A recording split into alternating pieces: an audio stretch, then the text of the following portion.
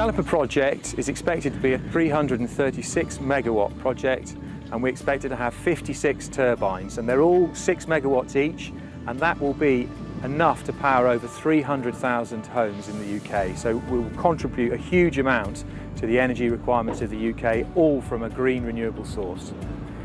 So this project is, is significant because it is using this new 6 megawatt direct drive machine from Siemens. If you go back to the early 2000s when the first offshore projects were built like North Hoyle in the Irish Sea, they were just 2 megawatts. Now we're at 6, that's three times the size and also it's using this new direct drive technology which again is, is, is the leading edge, the cutting edge of offshore wind.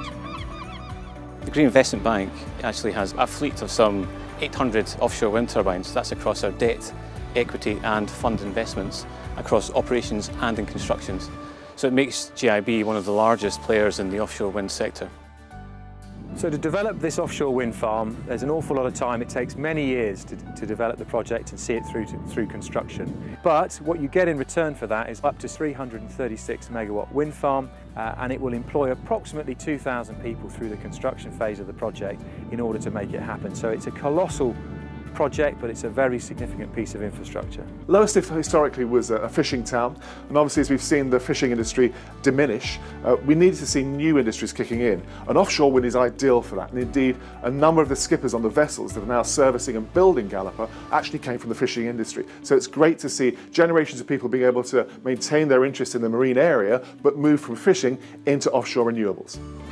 So coming from Lowestoft, I know that there's a lot of unemployment around the area and I know that in the past there's been a massive fishing industry and we do work from the sea, that's always how it has been.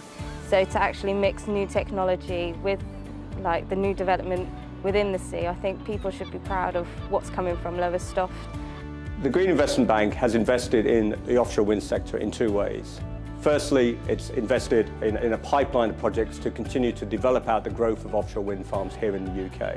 But also secondly, through financial innovation, we've been able to drive down the cost of capital. And that cost, getting down the cost of these projects, is actually critical to the future of the offshore wind sector.